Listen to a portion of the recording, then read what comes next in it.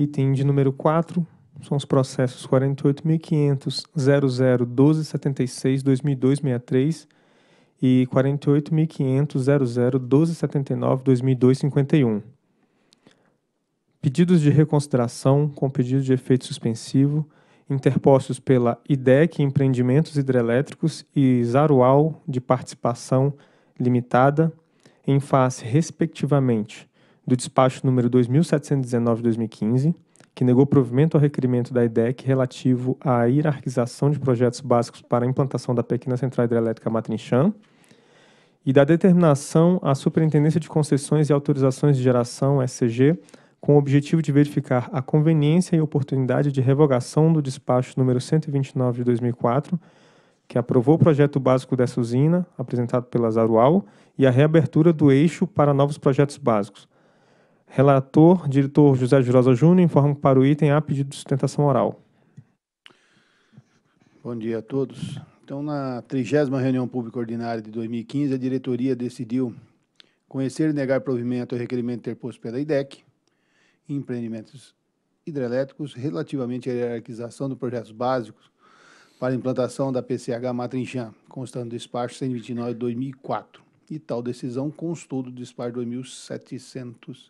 2719 de 2015. E, na ocasião, a diretoria também decidiu determinar a SCG que verificasse a conveniência ou oportunidade de revogação do despacho 129, a qual aprovou o projeto básico desenvolvido pela Zarval e a reabertura do eixo para novos projetos básicos.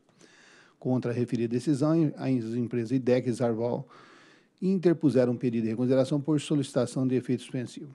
Em 14 de 9 de 15, foi sorteado para analisar os referidos pedidos de reconsideração. E, mediante o despacho 3.239 de 2015, o diretor-geral da ANEL decidiu Primeiro, não conhecer do pleito da IDEC de concessão de efeito suspensivo ao despacho 129 por intempestivo e não conceder efeito suspensivo ao recurso apresentado pela Zarval, interposto em fase do despacho 2719 por não encontrar presente requisitos ensejadores da sua suspensividade. Em 24 de 9 de 15, a Zarval apresentou contra-razões ao pedido de consideração da IDEC, bem como protocolou requerimentos sugerindo, entre outros, que por seu trabalho, por eu, por eu ter trabalhado na SEMAT por muitos anos, juntamente com com o senhor Itamar Dias Duarte, proprietário da IDEC, eu seria juridicamente suspeito e deveria me abster de participar do processo em referência. Instada a se manifestar sobre a mencionada arguição de suspensão, a Procuradoria, junto à ANEL, recomendou a sua rejeição com base, sobretudo, nos fundamentos a seguir relacionados. E o requerimento de suspeição não deve ser conhecido em face à ocorrência de preclusão temporal, a requerente Zarval deveria ter apresentado o pedido de afastamento do diretor José Jurosa Júnior antes do julgamento do processo, sob pena de não poder mais fazê-lo no momento posterior. A base que ergui a suspensão deve apresentar as, as provas que fazem presente uma amizade ostensiva entre a parte contrária e a autoridade administrativa. Conforme a manifestação doutrinária, ter trabalhado na mesma empresa não caracteriza por si só a suspeição da autoridade. É, a descrição trazida na, pela Zarval não aponta qualquer irregularidade em relação à atuação do diretor José Jurosa Júnior, em outras palavras, o que foi descrito como uma tentativa de influenciar a decisão do outro diretor não apresenta qualquer ilegalidade, visto que a atuação do diretor se deu dentro dos parâmetros parágrafo 1 do artigo 22 eh, da Resolução 468-2011, ou seja, buscando garantir a correta formação de convencimento dos diretores. A atuação do diretor José Jurosa ao longo do julgamento se deu nos contornos delimitados pela legislação, notadamente a Resolução 468, não havendo que se falar sem suspeição sobre esse fundamento. Então, baseado nessa, nessa, é, nesse parecer, que eu me declarei que não sou suspeito no processo e estou dando continuidade, tendo visto que realmente é, não é em verdade eu ter trabalhado com o Itamar, mas isso foi quando eu entrei na SEMAT, quando eu tinha recém-formado. Então, isso é lá nos idos de 82.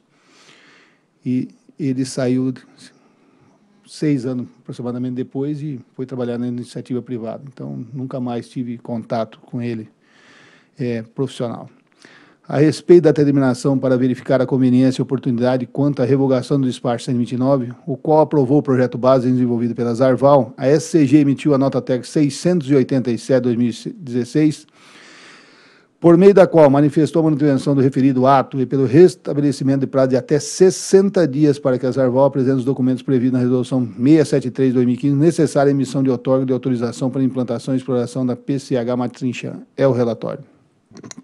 Convido o senhor Yuri Chimik, representante da Zarual de Participação Limitada.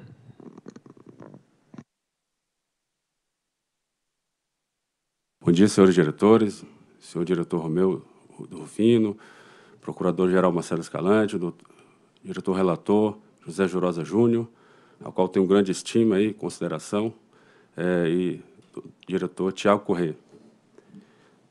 Verdade, não foi o nosso escritório responsável pela arguição, né? nós não entendemos que estaria presente. Por procuração, nós só fizemos a questão técnica. Né? E dando início aqui à apresentação, inicialmente, senhores diretores, a intempestividade do recurso da IDEC o pedido de reconsideração interposto pela IDEC em 10 de nove de 2015 foi protocolado na forma eletrônica, assinado digitalmente P7S, cujas normas, à época, em setembro de 15, aliás, todo o ano de 2015, elas determinavam que o protocolo da via original eh, fisicamente era obrigatório. Nesse momento, na fase inicial de implantação do protocolo digital, só havia a forma de substituição do protocolo físico. Era uma forma alternativa do fax, então, você assinava o documento digitalmente ou não, você protocolava ele, é, ele, ele da forma digital, mas na, na de cinco dias você tinha que protocolar via física. Eu mesmo cheguei a passar por essa situação e, como me deparei com a norma, eu tive que protocolar a versão física. Somente no início de 2016, senhores diretores, é que foi disponibilizado a forma do protocolo digital, eletrônico, sem necessidade do, do, do, de anexar a, a, a via física. Mas isso foi em 2016. Então, é, há claramente um documento é, inexistente, apócrifo, é, que não, não, foi juntado, porque não cumpriu a norma que era prevista na época. O protocolo com o P7S, da forma digital eletrônica, só passou a vigorar a partir de 2016. Em face disso, o despacho ainda ocorreu essa questão que o despacho 2, 2329 de 15 ainda decidiu não conhecer do pleito da IDEC é, por ser intempestivo. Mais uma confirmação aqui que é intempestivo, foi protocolado, não atendeu a forma da resolução. Aqui, a nota técnica 687 de 2016 da SCG analisou amplamente o processo de outorga da recorrente, com vista a averiguar a conveniência e oportunidade de revogação do projeto base da recorrente. No qual estivemos reunidos aqui com nosso colega aqui, doutor Elvio, né, expondo as nossas razões, do qual, de forma muito minuciosa e analítica, né, foi feita essa análise de todo o processo para verificar se houve algum desleixo, alguma é, não atendimento de determinações, alguma responsabilidade por parte da Zarval na condução desse processo de emissão de outorga de autorização.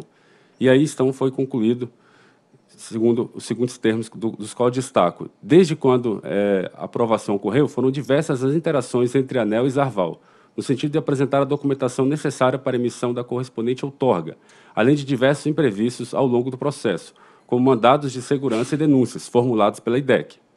Ao longo de todo o histórico do processo, a ANEL solicitou a apresentação de informações complementares, as quais a Zarval não se furtou em responder, sem em qualquer momento ter solicitado prorrogações ou dilações de prazo. Aqui fica claro que ela atendeu tempestivamente todas as determinações da, da agência. É, a nota técnica ainda destaca, abre aspas, após a última complementação de documentação, inclusive da representação do projeto básico o novo estudo hidrológico e energético, a ANEL não deu continuidade à instrução do processo de outorga em vista dos problemas identificados para a conexão da usina e da necessidade de anuência da FUNAI para a continuidade do processo de licenciamento ambiental. Então, claramente aqui um excludente de responsabilidade, fato de, da administração pública impediu a outorga. Enquanto o processo esteve sobrestado pela ANEL, a interessada manteve envio de relatórios trimestrais atestando o andamento das tratativas junto à SEMAT e para a definição do ponto de conexão e demonstrou estar envidando, é, envidando em busca de soluções, envidando todos os esforços para solucionar os problemas. Antes do desenlace dessas questões, houve a interposição de requerimento, com pedido de efeito específico pela IDEC, isso mais ou menos em 2003, solicitamos a anulação da seleção e hierarquização do interessado na implantação da PCH Matrichan, fato que motivou o sobressamento da instrução do processo, e que também foi reiterado em 2015, quase 12 anos depois, 11 anos mais ou menos. Portanto, é razoável que, superando os entraves ambientais e administrativos, a ANEL mantenha a validade do despacho de aprovação do projeto básico da PCH Matrichan e conclua a instrução do processo com vista a emitir a outorga de autorização para sua implantação e exploração pela Zarval, determinando a apresentação dos requisitos dispostos na REM 673 de 15 até 60 dias. Essa, então, é a conclusão da nota técnica, do qual conclui o processo que está em condição de ser encaminhado à diretoria colegiada, com vista a manter a vigência do despacho 129 de 2004, que aprovou o projeto básico da Zarval, e determinar que a empresa apresente até 60 dias documentos previstos na Resolução 673, necessários à emissão de autorização para a implantação, então, exploração da PCH Matrinchã. Aqui eu destaco, senhores diretores, os embargos ilícitos da IDEC. Eu digo ilícitos porque não tem fundamento, não tem motivação e foram todos rejeitados foram é, atos que causaram prejuízo para o setor elétrico brasileiro. Essa usina já poderia ter sido implantada não fossem os embargos sucessivos desta empresa. É, ela, então, foi a grande responsável pelo atraso na obtenção da autorização. Se não vejamos, em 16 de 12 de 14, a INDEG apresentou uma segunda denúncia ilícita à SEMA. Não, não segunda à SEMA. Já teria apresentado na, na ANEL em 2003 e 2015. Mas em 2014, do qual é o fato mais marcante, ela apresentou, nesse momento, em 2014, a empresa já estava inscrita no leilão, já tinha garantia física, já tinha licença ambiental, já tinha definição da vazão hidrológica, estava tudo pronto. Ela preenchia todos os documentos necessários para participar do leilão e se inscreveu no leilão de 15.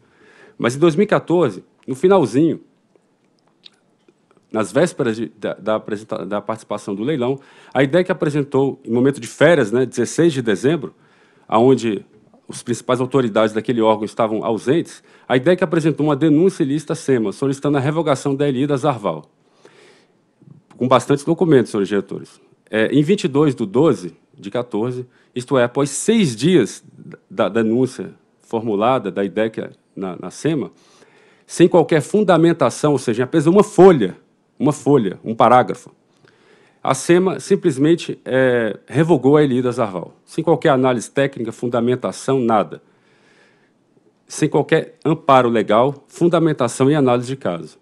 Em 12 de janeiro de 15, a SEMA informou a essa agência o cancelamento das licenças ambientais da PCH Matrician em razão de suposta falha procedimental, não ter atendido a resolução do CONAMA, o que não jamais aconteceu. É, em resposta ao pleito da recorrente, a Procuradoria-Geral de Defesa do Meio Ambiente, a SEMA, lavrou parecer concluindo que o termo de cancelamento da, da ELI deve ser anulado, que só foi um termo mesmo, foi só uma folha. Era um termo de cancelamento sem qualquer análise técnica. Em 20 de 5 de 15, sobreveio decisão da mais alta autoridade da SEMA que restabeleceu os efeitos da LI da recorrente, até porque o termo de cancelamento foi feito por um, servidor da, casa. Em face das manobras ilícitas da IDEC, a Zarval perdeu a oportunidade de participar do leilão A-5, o preço era mais ou menos 203 reais o megawatt-hora, é, seria, viabilizaria completamente essa usina, do qual já estava devidamente inscrita, a Zaval estava inscrita nesse leilão, com todos os requisitos necessários preenchidos, conforme nós demonstramos e comprovamos documentalmente no processo. Em 30 de janeiro de 15, a IDEC, não satisfeita, também protocolou nova denúncia nessa agência, do qual é objeto desse pedido de reconsideração. O parecer 337 de 15 Lava da Procuradoria-Geral, chegou às nobres conclusões é, que são irrefutáveis. O recurso administrativo interposto a requerente não deve ser conhecido ante a sua intempestividade, ou seja, foi protocolado, é, naquela época, em 2003, houve um recurso que foi protocolado intempestivamente, porque a empresa é, teve um ato do qual ela queria recorrer, ela pediu reconsideração, depois pediu outra reconsideração, depois pediu outra reconsideração e depois recorreu quatro meses depois do ato que ela queria lá no início nós que conhecemos o direito sabemos que isso é uma preclusão temporal. Não há como recorrer de um ato que você pede reconsideração por três vezes. Então, o recurso era intempestivo. Ocorreu também a decadência do direito de anular pelo transcurso de mais de 10 anos, e prescrição também quinquenal. No mérito também, a Procuradoria é, concluiu que deve ser o recurso indeferido quanto à falta de isonomia do tratamento recorrentes. Não foi identificado nenhum problema, é, por quanto é, uma suposta acusação que ela teria um favorecimento pessoal porque recebeu uma informação privilegiada. Isso não existiu do processo. É praxe dessa agência responder e-mails para dar celeridade aos processos, e foi isso que aconteceu. Ela mandou um e-mail, foi respondido o e-mail, dizendo que ele deveria buscar uma adequação da vazão hidrológica, e foi exatamente isso, todo ponto, é, é, que a ideia, que o único fundamento que ela alega que houve realmente uma falta de isonomia. Isso jamais aconteceu, porque o projeto básico da IDEC foi rejeitado, por um projeto é, de, de má qualidade, é um projeto que não atendeu às normas à época, e, e vale dizer, ela nem estudou o local.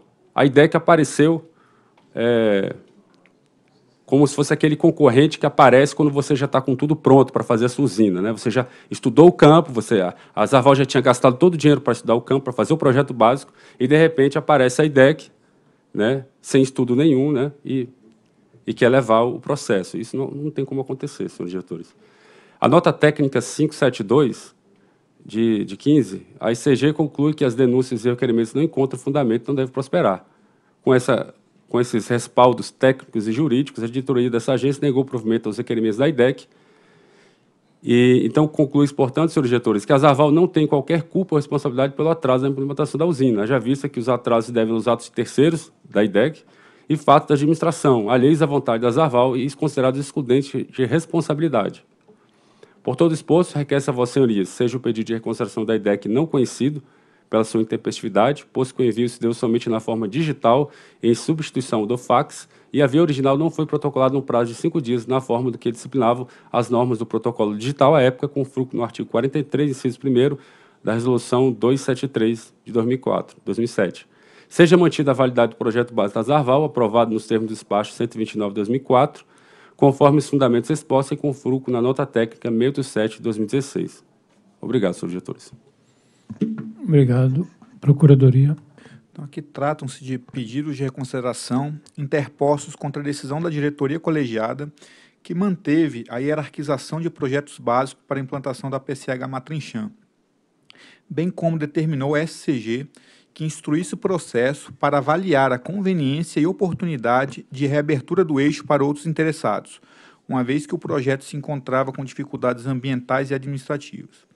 Então, de início, com relação ao pedido de reconsideração manejado pela empresa Arval, a Procuradoria entende que o mesmo não deve ser conhecido por ausência de interesse recursal.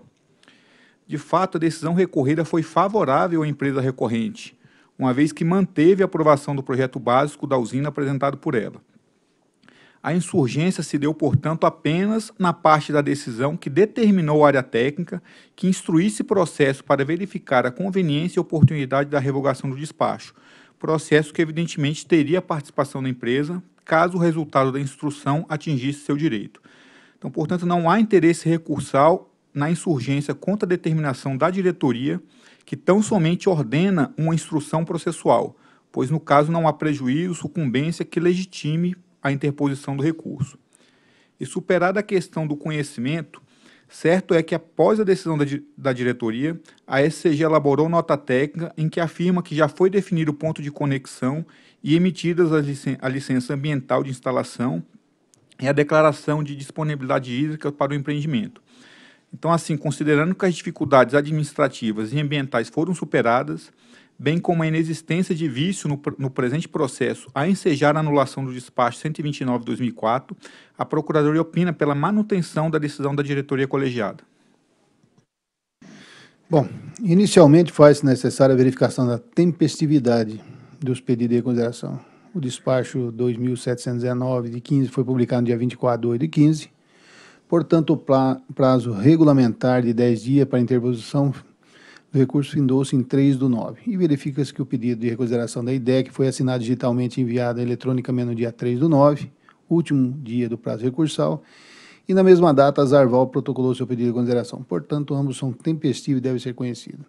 Em suas contrarrazões, a Zarval argumentou que o pedido de reconsideração da IDEC não deveria ser conhecido, haja visto que a via original não foi juntada aos autos. No entanto, cumpre esclarecer que os documentos assinados digitalmente com a utilização de um certificado digital emitido no âmbito da infraestrutura de chaves públicas brasileira, ICP Brasil, é considerado original, dispensando a necessidade de protocolização de uma versão em papel, conforme estabelece o decreto 8.539-2015. E no mérito, verifica-se que a IDEC reitera os argumentos apresentados anteriormente em destaque para os seguintes pontos: que o seu projeto teria sido irregularmente devolvido com a justificativa de não atender a boa técnica e que teria, e que teria sido favorecido é a concorrente Zarval. Assim pleiteia novamente a revogação do despacho 129-2004. No entanto, após o reexame da matéria, cabe aqui tão somente ratificar os fundamentos constantes do voto condutor da decisão recorrida, independente da transcrição. Isso porque, naquela ocasião, ficou demonstrado que o procedimento relativo à escolha do projeto base da PCH Matrinchan ocorreu de forma regulamentar. O pedido de reconsideração da Zarval visa revogar o inciso 2 do voto do despacho 2719 de 15, que determinou a SCG que instrua o processo com o objetivo de verificar a conveniência e oportunidade de revogação do despacho 129 de 2004 e a reabertura do eixo para novos projetos básicos. Segundo a Zarval, a seleção do projeto básico encontra-se amparada pelo princípio concorrencial, em que somente mora excessiva do agente poderia assim fundamentar tal decisão, o que nunca foi constatado ou oficiado pela área técnica responsável. Salientou também que, entre outros, que a atuação nos, nos autos desse processo administrativo deve respeitar principalmente os princípios da ampla defesa, do contraditório, da segurança jurídica, da legalidade, da motivação e da finalidade da norma, sempre na busca do interesse público. No ponto, ressalta-se que não há dúvidas quanto ao princípio a serem observados no âmbito do processo administrativo e juntamente para certificar que eles foram devidamente respeitados e que não houve mora excessiva da Zarval foi que a diretoria determinou a análise da conveniência e oportunidade da revogação do despacho 129. Em sua manifestação, a SCG esclareceu que após a aprovação do projeto base da Zarval, houve diversas interações entre a área de concessão e a empresa para apresentação de documentação para emissão da outorga. No entanto, aconteceram imprevistos como mandados de segurança e denúncias, que contribuíram para que o processo não fosse concluído no prazo desejado. Na nota TEX 687 de 2016, encontram-se discriminadas ocorrências relevantes durante a instrução no processo de outorga da PCH Matrinchã. Contudo, a SCG salientou que a Zarval não se furtou de atender às informações complementares que foram solicitadas, sem em qualquer momento ter pedido prorrogação de prazo.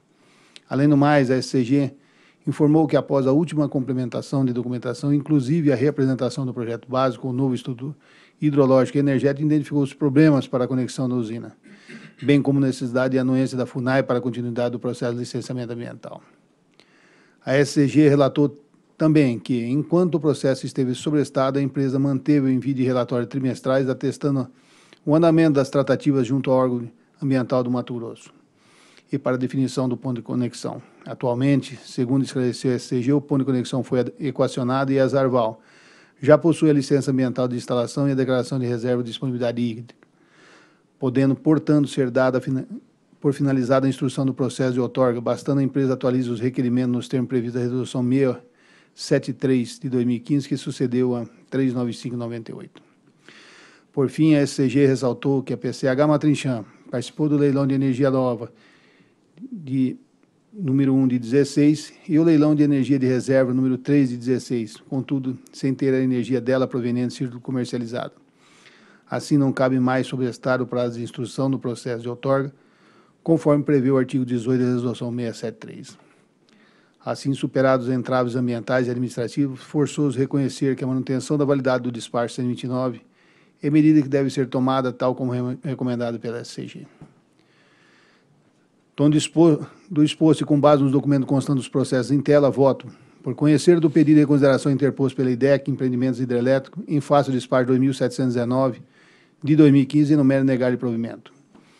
Conhecer do pedido de consideração interposto pela Zarval Participação em fase da determinação da SCG para verificar a conveniência e oportunidade de revogação do despacho 129-2004, bem como a reabertura do eixo para novos projetos base relativos a PCH Matrichan e no mero negar de provimento. E, por conseguinte, ratificar a decisão constando do despacho 129, que selecionou o projeto básico apresentado pela Zarval de Participação estabelecendo no prazo de 60 dias para a referida empresa apresente os documentos previstos na Resolução 673, necessários à emissão de outorga da implantação da exploração da PCH Matrinchã. É o voto, e eu acho que é importante dizer, né, conforme foi defendido pelo representante, que, na verdade, o que teve durante esse período foi uma, uma, uma tentativa de atrapalhar e, e, atrapalhou durante aí um grande período é, de um empreendimento sair. Agora eu vejo que não tem mais impedimento nenhum. Então, dentro dos próximos três anos, que é o prazo regulamentar, esperamos que essa usina esteja implantada né, e gerando energia para o país. É o voto. Em discussão. Eu acho que é isso, está tá bem abordado aqui.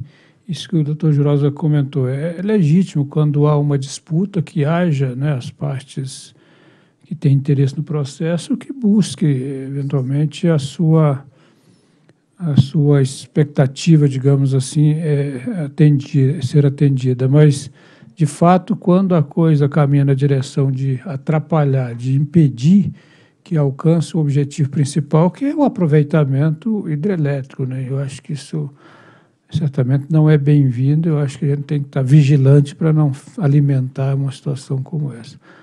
Mas eu acho que o encaminhamento que está sendo dado aqui é o adequado. Em, em votação. Eu voto com o relator. Também voto com o relator. Proclamo, então, que a diretoria decidiu é, por conhecer do pedido de reconsideração interposto pela IDEC, Empreendimentos Hidrelétrica Limitada, em face do despacho 2719-2015 e no mérito negar-lhe provimento.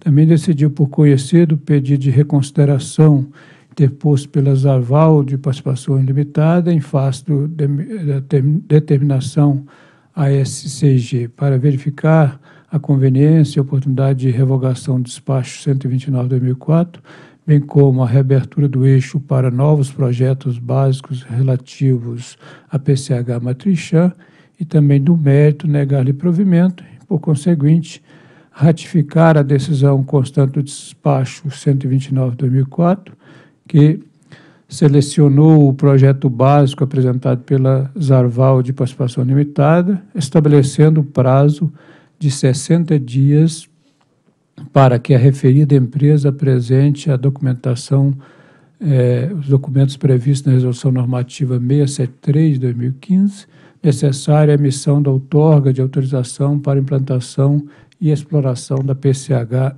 Matrinchã. Certamente no ato está claro a partir de que data inicia a contagem dos 60 dias, que deve ser da publicação do ato, né? Ok. პროსმუიტი